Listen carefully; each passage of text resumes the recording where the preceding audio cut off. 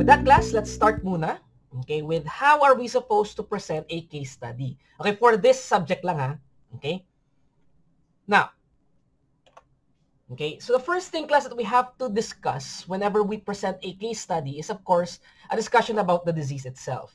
Now, something that you have to remember class is that especially in farm in pharmacy practice class, one thing that you, we never really do is diagnose. Okay? Hindi natin trabaho class ang pagda-diagnose because it's the physicians who are doing this. They are the ones who are trained to diagnose. We are trained class to assess our patients. Okay? Don't get me wrong. Right? We are trained to assess our patient but not diagnose their disease. Kumbaga class, ang mga ang trabaho natin bilang isang pharmacist will always depend on the diagnosis of our physicians. Kumbaga class, we, we, we give recommendations, okay, regarding what's the best course of treatment, okay, the best medications to be used, right, based on the diagnosis of our physician. Now remember class, all of us have different roles in the healthcare team. Doctors are ano, are the ones who diagnose. Nurses are the ones who give the care. Okay, we pharmacists decide on or recommend on what's the best course of treatment in terms of pharmacologic or non-pharmacologic ways of uh, management. Pwede bang mag-record? Yes, actually nagre-record na ako. Okay, again, it's um the way I record this class is uh a software for my PC. Okay, sorry nga lang, ang boses ko lang ang maririnig nyo doon, walang muka. Okay, and then slides lang. Then, uh, sad hindi maririnig yung boses ninyo pag nagsalita kayo.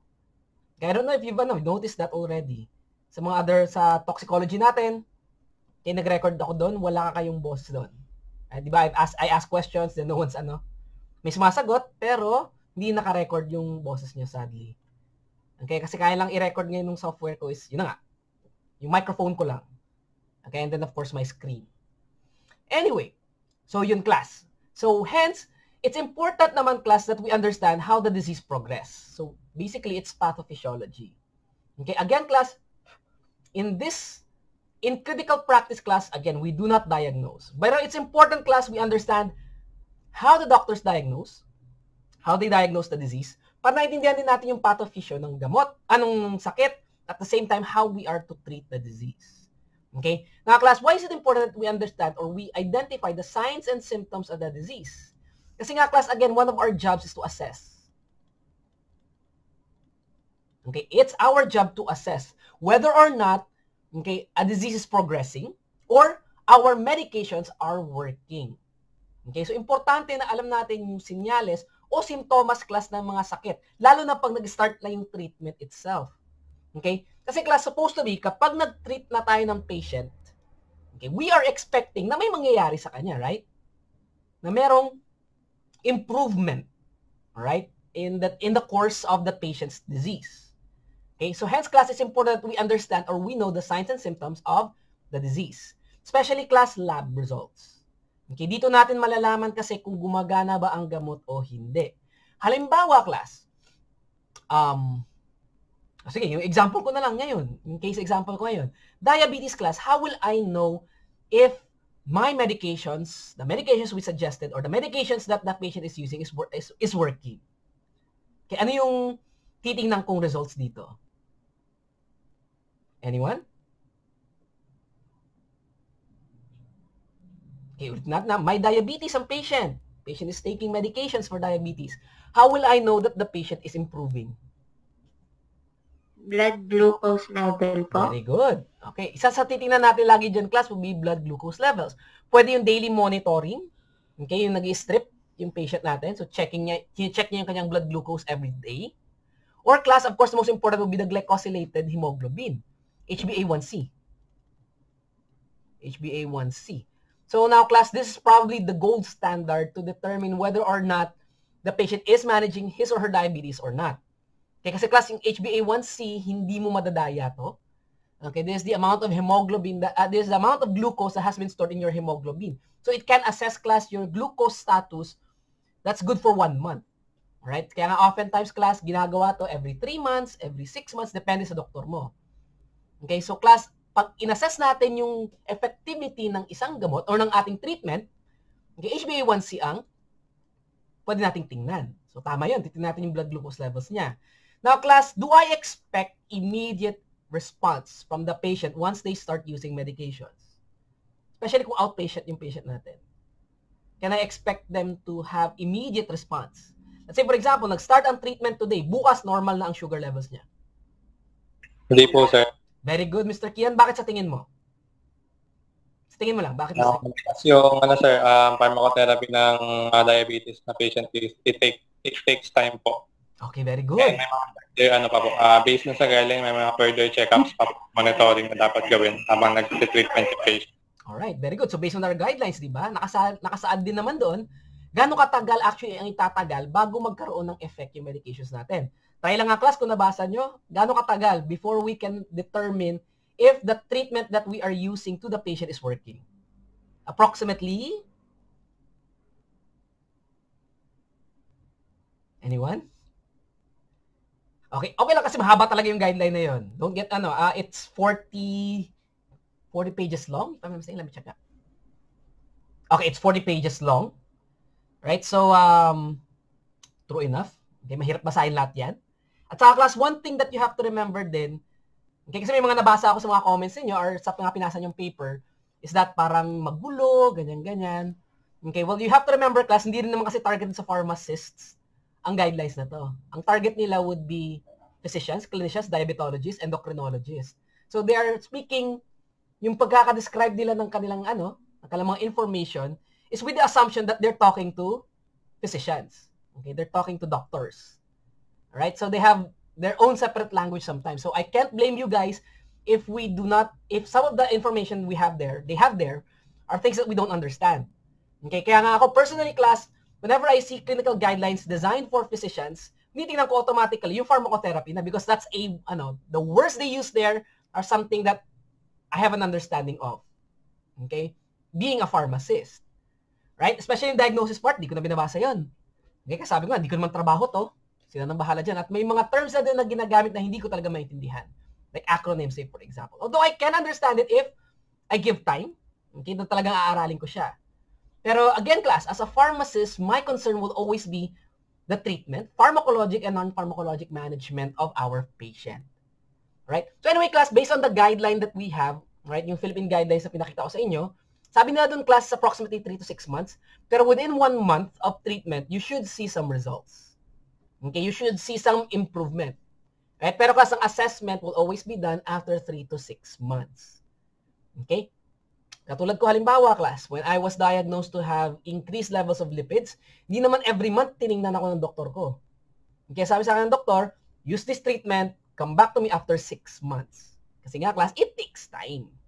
Okay, hindi naman immediate yung effects ng gamot natin. Okay, you have to reach a certain, ano, diba, steady state levels pa. Then you have to wait until it starts working. Right? So, hence class, for us to know if the drug is working, we can look at lab results to assess it. Or class, we look at the symptoms or the signs the patient, uh, of that disease. Okay?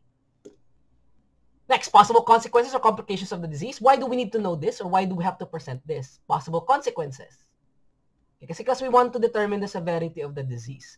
And of course, class, ang patient kasi, tandaan nyo to ang pasyente class, hanggat wala silang masamang nang nararamdaman, hindi yan magpapatingin. Hindi nila siseryosohin ang sakit nila. Correct? Okay? Hanggat wala yung nararamdaman sakit ng batok, okay? Or nahihilo, hindi magpapatingin sa doktor yan. Okay? Well, one thing, okay, you have to consider din naman is magbabayad kasi sila. Oras, di ba na pagpunta sa doktor, pipila ka pa sa linya, kung may linya yung doktor. So hence class, we have to inform the patients of the severity of the possible consequences na pwedeng mangyari pag pinabayaan nila yung sakit nila. Okay? Halimbawa, cancer. Okay? Pag pinabayaan niya, ano ba mga pwedeng mangyari? Right? Ang, ang dami. Okay? Diabetes halimbawa, pwedeng mabulag ang pasyente, pwedeng masira ang kidneys. Okay? It could lead to heart attacks, strokes, pag pinabayaan natin. Correct? So hence, class, it's important that we also present this whenever we're presenting a case study. Okay? Para bilang isang pharmacist, alam ko yung sasabihin ko sa pasyente ko sa mga posibleng mangyari sa kanya pag pinabayaan niya yung kanyang sakit. Okay? And then of course, class, very important, we have to identify the treatment guidelines. Kasi class, alam nga naman tira tayo ng tira ng gamot. Sabi tayo na, ito yung magandang gamot na wala tayong basehan. Okay? Kaya nga class, ginawa ang mga treatment guidelines because these guidelines summarizes the body of evidence that we have right now. The current body of evidence. Pero I'm, uh, I appreciate class that most of you were able to notice this, na kailangan ang treatment guidelines class should be updated on a yearly basis. Okay?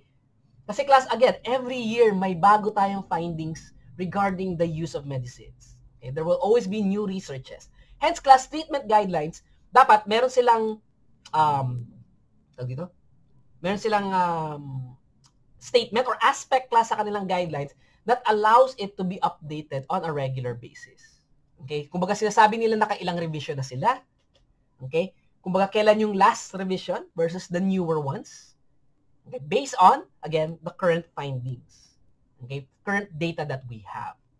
So yun, appreciate ko na na-note nyo rin yung mga yun for some of you guys. Okay? As I was reading through your assessment. Right? So treatment guidance kasi again, dito lang naman kasi iikot ang rationale kung bakit we why we use certain medicines. Okay? So yan. So that should be part of the introduction. Okay, sabihin nyo kung ano yung treatment guideline na ginamit ninyo, right? anong taon siya na-publish, so on and so forth. Okay, the next one class, of course, since we we're done with the introduction, they will proceed the class with the case presentation. So obviously, class, you have to present the case as it is written. Have you seen class an actual patient chart? Na-experience nyo ba makakita ng actual patient chart? Yes Yep. po, sir. Last Alright. time, nung Mm. nag-collab po kami sa grand presentation sa nursing tsaka sa RadTech po. Okay, very good. So class, see kasi sa patient case, yung mga ibibigay ko sa inyong case class, similar to that yung mga sinusulat sa actual patient chart. Okay, kasi class, oftentimes, sabi nga nila eh, uh, if you're making a patient chart, usually si, ano eh, si, si nurse ang gumagawa. Okay? Kasi minsan wala nang oras si doktor. Pero kung may oras si doktor, okay, siya yung gumagawa ng case, ng ano to, ng, ng case, siya nagpa-present. Ninanarrate niya class kung ano yung findings based on the, based on our patient. Okay, sa sinabi ng patient natin. Kaya class, importante nga raw, sa, ang sabi nga ng, ano, ng mga doktor namin before, ah, isa sa mga importante, ah, ang, ang importante dito, class, madaldal yung gagawa ng patient case. Okay? Sabihin niya, si patient ganito was admitted to ganyan, ganyan, ganyan because of ganito, ganyan, ganyan, ganyan, ganyan. Okay? Like, three days prior to admission, patient was complaining of ano, stomach ache, which was which was relieved when using antacid, say, for example. Mga ganyan, ganyan. So, class, importante na very detailed yung pagkakasabi mo dito. So, again, the way we make the patient case class will greatly depend on um, yung skills nung gumawa nito sa pag-interview. Alright? Dito makikita kung gaano ka-detailed yung kanyang ano, ah yung kanyang interview process. Kung saan na, na-probe niya yung patient to divulge certain information. So again, it's uh, no, it's a people skill. Right? Na kailangan ng isang pasyente, ng isang healthcare professional natin. Now, class, again, sometimes kasi, iba mag-interview ang isang doktor, iba mag-interview ang isang nurse, iba rin class mag-interview ang isang pharmacist. Right now, okay, right now class, we have, okay, sadly, we don't have yet a, sa Pilipinas ha, hindi pa natin nagagawang mag-interview ng actual patient, tapos gagawa tayo ng case based on their, based on the interview that we made. Most of the time, class, we are very dependent on the interviews made by our doctors or by our nurses. Kasi doon tayo mag doon iikot yung um, pharmacotherapy natin. Kasi based on their diagnosis. Based on the diagnosis of the doctor. Based on the assessment of our nurse. Okay, so how I wish class dumating ang panahon wherein we can have students interview actual patients okay, and then do pharmacotherapy class. Hindi naman kailangan RX drug. Okay? Pwedeng OTC intervention ng mga pharmacists natin. Kasi class, again, majority of the disease conditions naman class, makikita natin sa community, okay, hindi naman kailangan agad-agad ng RX drug. We can manage it class using non-pharmacotherapy or pwedeng OTC preparations. Kaya nga class, I don't know if you've noticed, eh, ito lang class ang isa, lang, isa din napansin ko sa curriculum ng pharmacy, ng BS Pharmacy, we don't have OTC. Okay, although we discuss OTC drugs, pero we don't have a specific subject for OTC. Well, anyway, I guess naka-reserve na yun for higher, ano, higher education for pharmacy. PharmD kasi class, they have a separate subject. Okay, OTC preparations or OTC management. Identify doon ano yung mga sakit na pwedeng i-manage using OTC. And then ano yung mga OTC na pwede nating gamitin. Kasi class, the pharmacy professions, the, the pharmacy profession really shines in the community setting. Okay, wherein most conditions are manageable with OTC prep lang naman. Diba? Minor itch, burns, pain. Okay, tapos syempre stated lang doon kung ano yung mga symptoms na kailangan nating bantayan wherein kailangan na siyang kailangan na i-refer yung patient sa isang physician or other healthcare professionals. Right? So anyway, class, again, we present the case as it is written. Okay, then make some comments along the way if you can. Kung may mako-comment na kayo agad-agad based on sa findings dun sa case pa lang. Now, of course, class, here we start now with our SOAP analysis. When we do SOAP analysis class, first things first, you have to state the subjective information. Subjective information class are statements. Okay, most of the time class, these are statements from the patient. Okay, ito yung mga sinabi ng pasyente. Like, halimbawa, ah, ang, ang, ang sabi ng patient, ah, Sir, meron po akong epigastric, may masakit po yung tiyan ko. Okay, so we state it as is. So masakit ang tiyan. Right? So upon probing, sang part ng tiyan halimbawa masakit. Okay? Now, those are information class that are subjective. Again, anything na nanggaling sa pasyente mismo, sila nagsabi, is considered to be a subjective information. Or nanggaling sa bantay or sa kamag-anak ng pasyente. Halimbawa, hindi makapagsalita yung pasyente. So again, the, uh, these are information about the patient's symptoms, which includes description of the symptoms, right? Description of the symptoms like nature, onset, kailan lumabas, gaano katagal. Napaka-importante ng mga information na to. Pero again, class, kung hindi ito natanong during the interview process, right, mahirap tong ano, mahirap naman na makuha natin yung information na to kung hindi tayo mismo ang nag-interview, correct?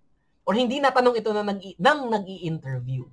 So sometimes, class, again, we are at the mercy of the information gathered by the nurse or, the, or our physician. Right? Pero so, so wala naman tayong choice doon, right? Anyway, so severity and associated symptoms. So these are the things, class, that we often ask during the interview process, and it will be classified under subjective information. So I think alam nyo na rin naman to, right? So description of any factors that seem to precipitate, exacerbate, or relieve the patient's symptoms. Okay? And then, class, another thing that you have to state here during this ano, information gathering is how, how do you call this? Um, how valid are the statements of the patient. Kasi class, during the interview process, mapapansin mo rin eh kung pabago-bago yung sinasabi ng pasyente. Okay? So, reliable ba ang information na kukuha mo? So, that is something class that you have to state then during the interview process. Right? Pero again, in our case here class, sa gagawin natin mga case presentation natin, yung information na gagamitin natin will already be provided for us. Okay, it's going to be provided for us na. Okay? So description of any factors, yun na nga, what precipitates the symptoms, kung meron man. Right? Or um, exacerbates it. Like halimbawa, after meals, sumasakit ba ang tiyan? Okay, and so on and so forth. Anong ginagawa ng pasyente to relieve the symptoms? Right? And description of the patient's effort to relieve the symptoms. So those are all subjective information. So one thing, class, that again, uh, you have to remember is that when we're talking about subjective in, subjective information, these are information stated by the patient themselves. Now, can subjective information be part of the objective information and vice versa? Pwede ba? Pwede ba yung, yung sinabi na patient ko na symptoms, pwede ko ba siyang ilagay as part of the objective information? Sa tingin nyo? Is it possible? Walang class, opinion nyo lang naman. Wala namang problema. Anyone? Sa tingin nyo, pwede ba?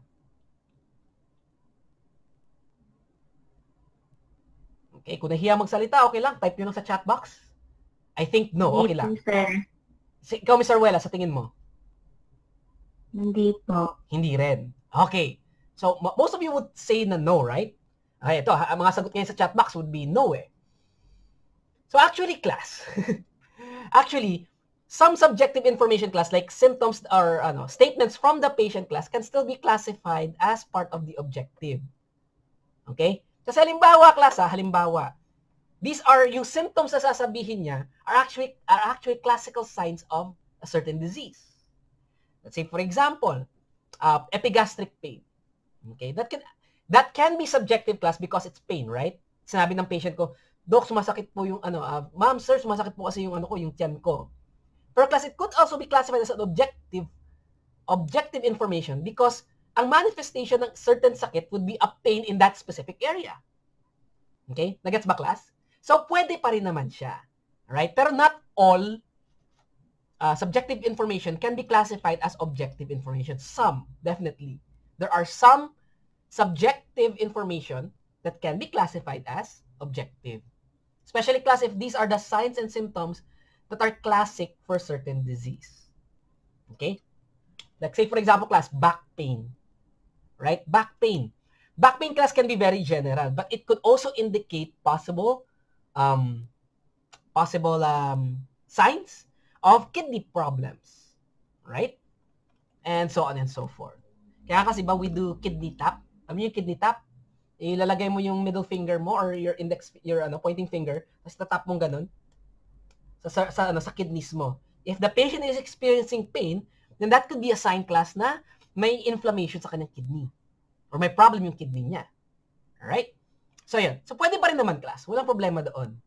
Okay? Sometimes class, what you write in the subjective information can be rewritten as part of the objective information.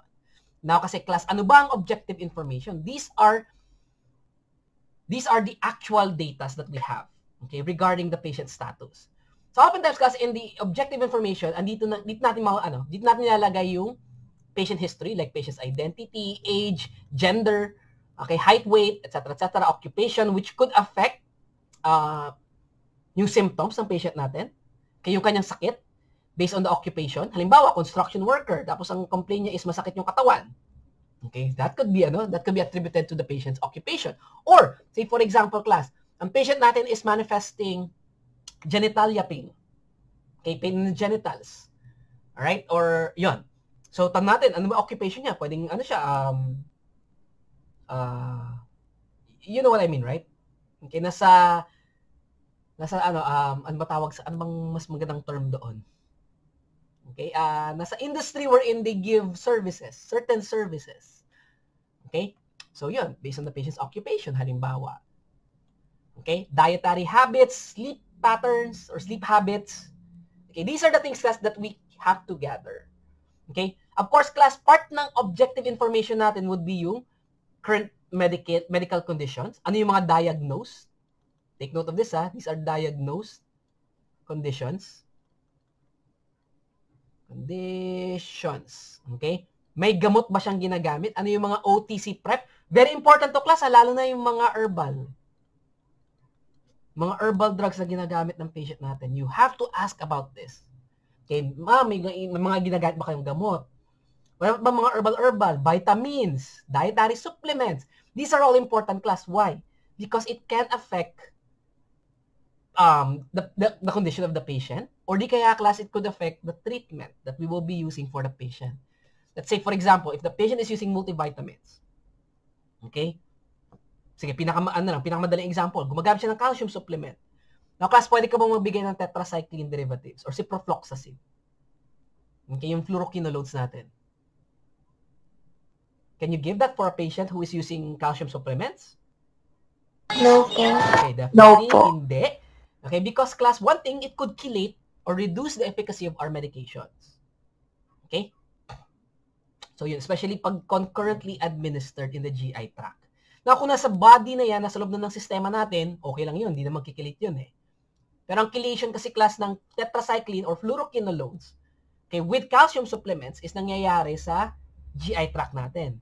Now, kung sakali naman class, nagtitake siya ng calcium supplements, do we ask the patient to stop if the patient will be using tetracycline or fluoroquinolones? Ah, I forgot.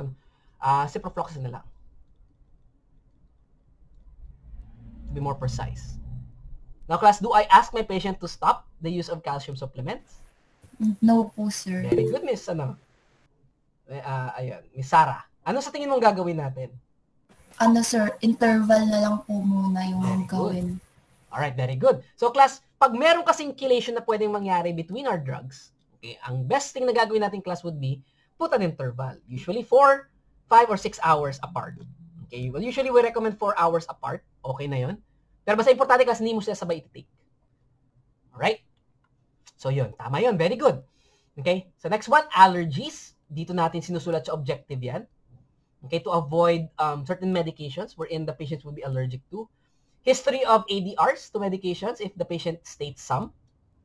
Right? Physical examination. Right? Again, si, si, most of the times, doctor nagagawa nito. Okay? Sa atin naman, class, kailangan lang natin yung information na to, especially this one. Height, weight, age. Importante yan for dosing considerations.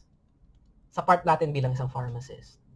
Okay? Siyempre, kailangan natin malaman kung ano yung mga gamot na tinitake niya, right? So again, this is something that we need. Allergies, kailangan din natin yan. And ADR history. Para malaman natin class kung ano ba ang gamot na pwedeng ibigay sa patient natin. And then another one class would be lab results. Okay?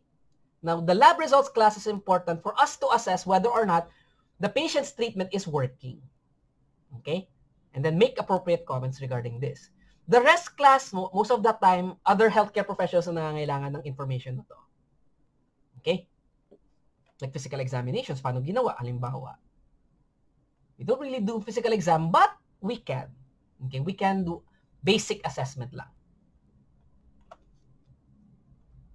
Okay.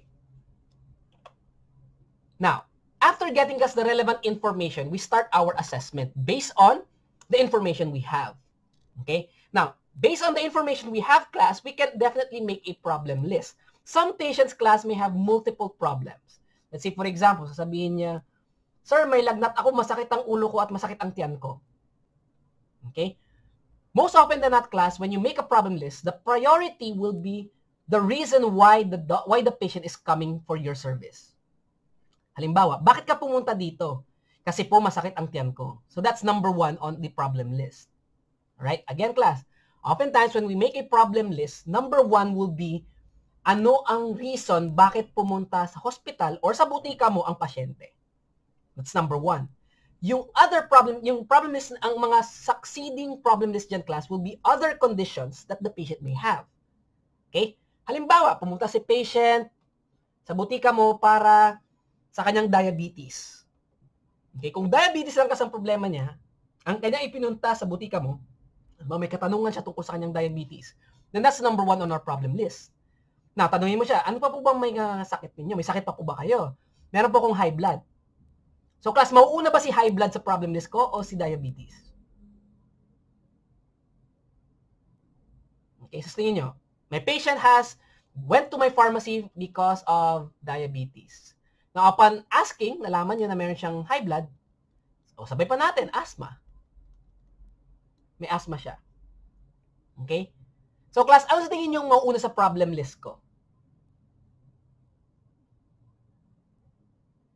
Okay? Anyone? Sino uunahin ko sa problem list ko? Okay, what's the patient's primary problem? Uunahin ko ba klase asthma? Pwede ko ba unahin si asthma sa problem list ko?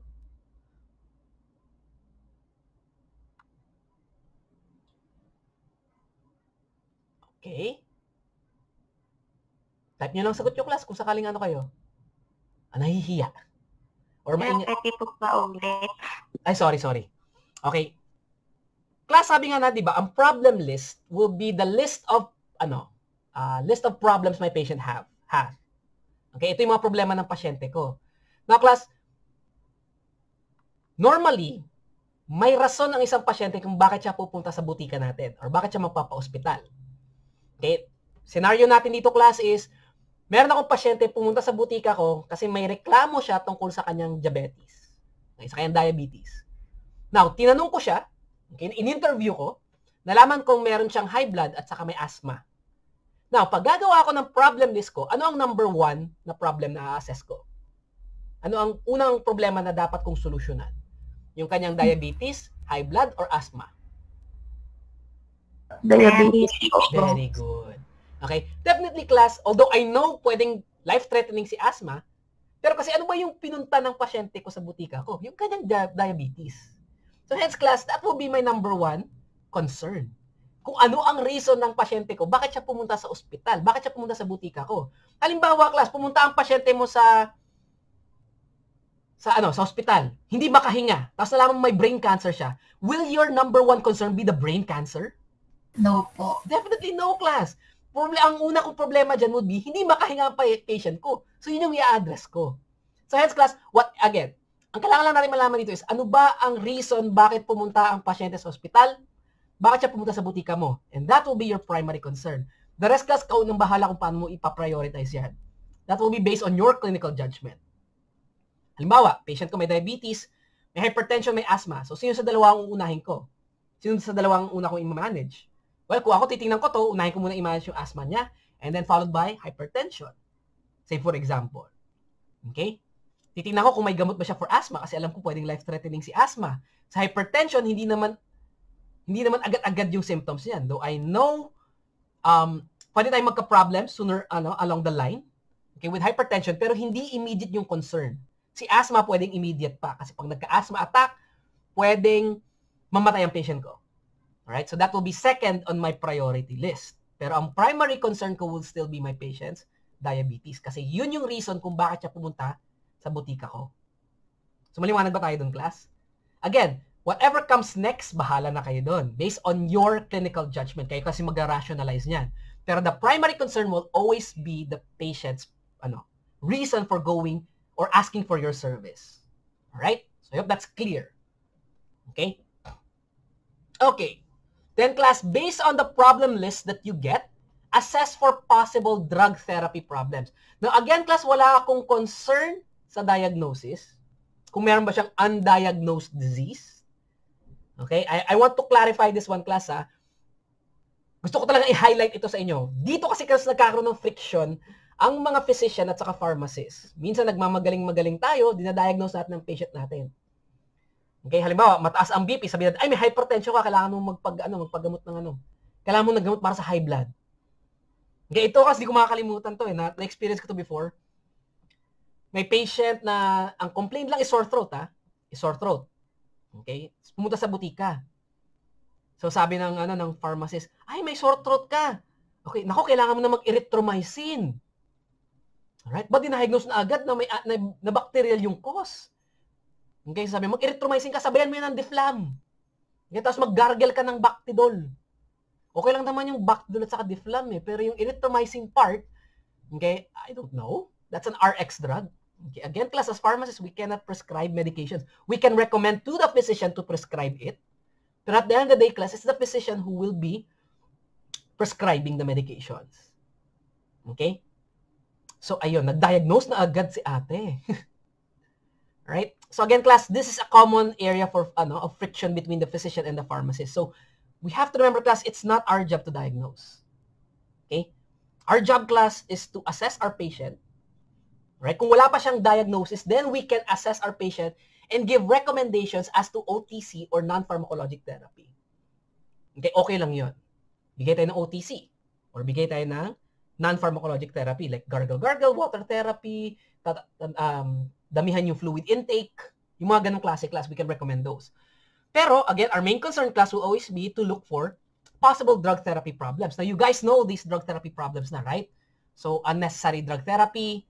Baka may, may gamot siya na hindi niya naman pala kailangan talaga. Okay, baka mali ang gamot na ginagamit. Ang dose ba masyadong mababa? May adverse drug reaction na nangyayari? Masyado bang mataas ang dose ng patient natin? Inappropriate compliance, ibig sabihin hindi nagagamit ng tama ang gamot, or kailangan pa nating magdagdag ng therapy based on the patient's or the doctor's diagnosis or based on our assessment. Okay? Let's say, for example, assessment natin, patient is in pain. Okay? Tapos wala siyang medication for pain. We can recommend OTC for that. Pero lagi nating sasabihin na go to your doctor para maresetahan ka ng mas maayos na gamot. We can recommend to the doctor na, Dok, mas magandang itong gamot para sa patient natin. Say, for example, Arcoxia. Okay, alam naman natin kasi ang Arcoxia or Etericoxib is an RX drug. We can't recommend that to the patient themselves. Pero we can recommend that to our physician, to the patient's physician. Alright? Siyempre, tingnan mo lang ang risk ng patient for those medications when using those medications. So again, class, ang focus lang natin is drug therapy problems. Wala tayong pakialam sa diagnosis. Okay? Kahit minsan alam natin parang mali yung diagnosis. Pag ganun class, we have to talk to the doctor, not to the patient. Wag nat ito pa class ha, wag nating sisiraan ang doktor sa harap ng pasyente. Sasagutin ka ng doktor niyan class. Sino ka ba? Ha? Parang ganyan, di ba? Sabihin ko, bakit? Pharmacist ako. Okay, pero class, again, hindi natin pwedeng sabihin na mali ang diagnosis ng doktor sa pasyente. Na ano, sa patient mismo. Pwede natin kausapin kasi doktor. In a nice way. Kaya nga, class, meron tayong, uh, dito, Farm Care 3. Okay? Uh, yung Farm Care 3, tama nga ba? Farm Care 3 yung interpersonal communication skills natin. We need to know how to talk to our, to other healthcare professions. Okay? In a, in a manner class that it's not com, comba, combative, combative, combative, whatever. Right? Na hindi siya magiging defensive. Okay? So again, it's a skill class we develop through time. It's not something we learn lang in school. Right? Trust me class, what you learn in school is just 10% of what you actually learn in real life. Right? Kumaga, this one is just introducing you to real life. Okay? So anyway, so uh, yun, drug therapy problems. Formulate a comprehensive list of therapeutic alternatives. So based on the drug therapy problem you see, try to address it class. Ano mga pwede nating gawing solutions? Okay, for the primary problem, including non-pharmacologic approach, ha, very important ito based on the treatment guidelines that you will be using. Okay, again class, hindi tayo pwedeng magsabi na ito ang magandang gamot para sa iyo simply because I feel na ito yung magandang gamot para sa inyo. Kailangan class yung mga recommendations natin will be based on something that is scientific. And class, the best way we can do that is to use treatment guidelines or clinical practice guidelines.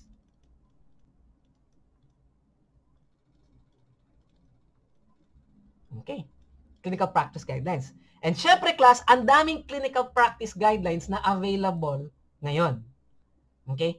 It just so happened, class, in my case, I always choose the Philippine one. Alright? So, hence, class, sobrang dami ng available clinical practice guidelines natin. How do I know which one would be applicable to me? Okay? As a healthcare professional. So, kaya nga, class, meron tayong AGREE. Yung ating assessment tool, which is the AGREE 2. Okay? So, in your opinion, maganda ba ang clinical guidelines na to? So, you try to evaluate it class in a systematic fashion. In a scientific manner. Alright? So, I guess most of you were able to present na sabi nyo nga, you will recommend it pero with slight modification. And most of you guys stated that hindi nakasulat sa clinical practice guidelines yung conflict of interest. Okay?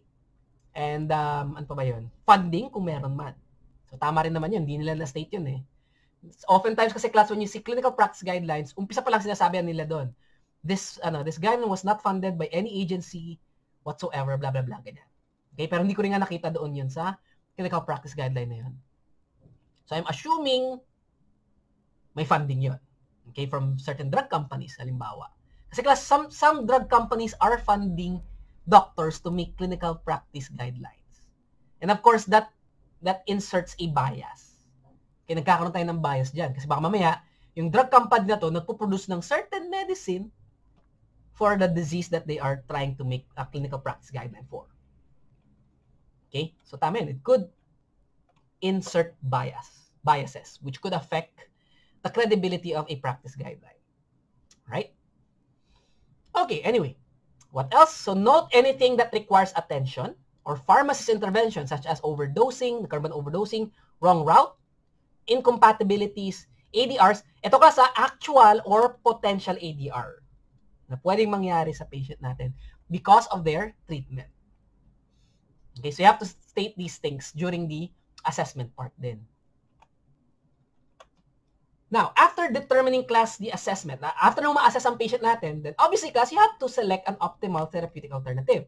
So based on the assessment that you've done, try to look for something that you would recommend to the patient and to the and or to the physician. So optimal therapeutic alternative to address the patient's problem. Okay, sa ginawa mong problem list. Taking to account patient preferences. Kasi baka mamaya class ang sabihin mo, sir, maggamit tayo ng suppository. Eh sabihin ng ano ng patient, ayoko nga. Ayoko ng suppository. Pagpipilitan ba natin yung suppository? So syempre hindi. Okay, because we have to consider patient's preference. Another thing, class, what if, sir, based on the guideline, yung pinakamahal na gamot ang kailangan ng patient ko, eh walang pera ang patient, pagpipilitan ko ba ito? So, obviously, class, hindi. Correct? kung hindi kayang ma-afford ng patient in class, that's going to lead to non-compliance. Kasi hindi niya mababayaran yung, yung gamot na yun. So hence class, you always have to take into consideration patient's preferences. Okay? So kung hindi niya ka-afford ng gamot na to, then what's the next best thing? Okay? Okay. Kasi minsan class, may mga doktor nagpe-prescribe ng gamot, napakamahal. Hindi nila alam na mahal pala. So, hindi magamit ng patient ko kasi nga hindi niya afford. Okay? So, it's our job as a pharmacist to search for alternatives. Like halimbawa, clopidogrel ang nakareseta sa patient. Okay? Hindi niya kayang ma-afford. So, ang next best thing doon would be to use aspirin. Check mo lang class kung compatible ba para sa patient ang aspirin. Wala ba siyang allergy sa salicylates? Okay? Uh, wala ba siyang problem sa GI tract? Or kung wala, kung magkaroon man, dapat mag-i-report niya agad. Then of course, guys, if we are to make alternatives, you have to inform the primary physician. Sa reseta, andun naman ang contact details ni doktor. Pwede, na siya, pwede natin siyang tawagan anytime. Okay? I'm happy to, ano class, I'm happy na nowadays, proactive na yung mga pharmacists natin. Minsan nga, PA pa ang tumatawag sa doktor. Okay? So they are proactive. Asking class kung, Dok, wala kaming ganito, pwede bang ganito na lang ibigay natin? O di kaya, Dok, hindi kayang, uh, hindi ma-afford ni patient ang ganitong gamot. Can we give this alternative? Okay, usually sabi lang naman nila generic po. Okay? Kasi minsan, uh, brand specific yung inaano eh. Nireseta ni doktor.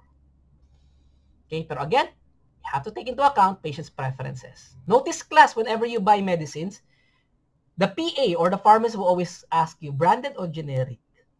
Okay, that's a way, ano, that's ano, that's a statement class that would allow us, that would allow our patient to make a choice. Okay, kukuha ba siya ng branded na medyo mahal pero mas hiyang siya? Or okay na sa kanya ang generic? Now, class, again, ha, as pharmacists, we always believe na, na ang generic drug is just as effective as the branded ones. Pero there are differences, class, in how they are manufactured. Okay, and totoo naman, class, may hiyangan talaga when it comes to medications. Okay, there's truth to that. Kung sinabi niya mas hiyang siya sa gamot na yun, that's the patient's choice, right? At least we offered them an op we offered them options. We offered them choices. Okay? So kung mas gusto niya branded, then go ahead. Malay mo, may pera naman talaga yung patient na yun. Parang ngayon class, di ba, nung January, nung nagkaroon ng outbreak ng flu, well, kaubusan ng paracetamol. A lot of patients class do not want to buy generic paracetamol may specific brand sila, biogesic. Pag walang biogesic, di bali na lang. Again, that's their choice. Okay? Anyway, what else? Explain the rationale for selecting the recommended therapeutic approach. Now, class, this is very important. Bakit ito yung pinili mong treatment? Sa sobrang dami ng options natin, bakit yan ang pinili mo? You have to rationalize why that is. Alright? So when you rationalize class, another thing that's important here is you have supporting documents. Ano ang usual supporting documents natin dito? Journals. Okay, guidelines. These are very important. Okay? So yun class, pag nagsabi ka class ng ano, ng ter, uh, ng treatment ano mo, ng therapeutic approach na gagamitin mo, kailangan mo siyang suportahan ng guidelines. Kaya nga, first thing na kailangan nandito is, anong guidelines mo nang gagamitin nyo? And then make appropriate suggestions or corrections for anything that requires the pharmacist intervention like dosing. May nakita kang problem halimbawa sa treatment ngayon ng patient, sobrang taas ng dose niya. Okay? So yun. You have to um, make appropriate suggestions na lang din. Right? And then lastly, class, last part na ipapakita nyo sa case study ninyo would be patient education. Ano ang laman ng patient education? Okay, self-care, non-prescription medications, or uh, kung kailangan mong magbigay ng OTC prep, or non-drug therapy, ano, non-drug therapy. So, convey accurate information to the patient, such as what to expect from the treatment. Ito, class, ha, expectations. Kaya nga, class, di ba, napaka-importante na laging may expectation ng patient. Bakit? Halimbawa, class, kung ako ang isang hypertensive patient, bumili ako ng gamot. Ano expectations ko sa gamot na yon? Bumili ako ng gamot para sa high blood ko. Expectations ko, bababa ang BP ko. So, uminom ako ngayon. Bukas class, nakita ko mataas pa rin ang BP ko. Sas ano sasabihin ko bilang isang pasyente? Sabihin ko, ay, hindi effective yung gamot na to, tigilan ko na nga to. Di yata ako hiyang sa gamot na to. So hence class, kailangan iset natin yung expectations ng patient sa treatment na ibibigay natin. Okay? Kaya nga class, laging natin kada- kadalasan siya titingnan natin is gaano ba katagal? How long should I wait before I see any appreciable effects when it comes to my medications? So kung for hypertension yun, at least a month, you'll see a decrease in the patient's blood pressure. Okay? Or pwedeng 1 to 3 months or 3 to 6 months, depende sa guidelines. Tingnan na lang natin. Okay? Pero you need to stay, you need to set expectations. Or you need to set class na ano, you need to address the patient's expectations. Now, kung yan ay antibiotics, gaano katagal bago siya mag-work? Okay? How will how long will you wait before you see any appreciable effects? Try nga natin, class. Alam niyo ba kung gaano katagal bago mag-work ang isang antibiotic? How long do you need to wait? Okay, or how long? Yon, sige Miss uh. Sir, try lang po. Usually po, ang pagkakalam ko, pag antibiotic, 7 days po yung treatment niya.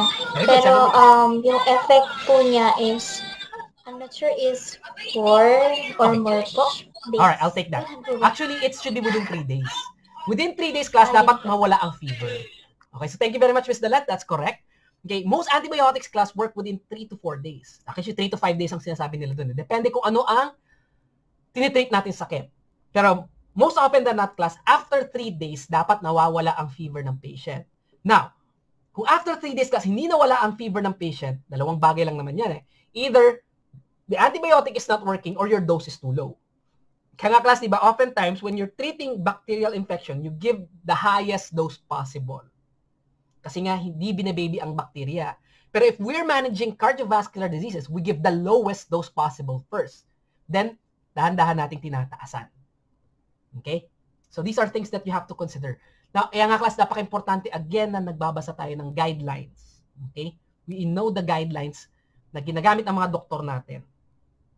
Okay? When managing certain diseases. Right? So, dapat may expectations. Di ba? Kasi parang relasyon lang din.